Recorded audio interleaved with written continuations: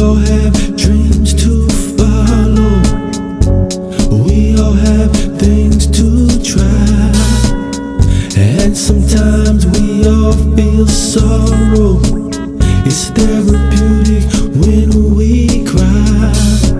We're looking forward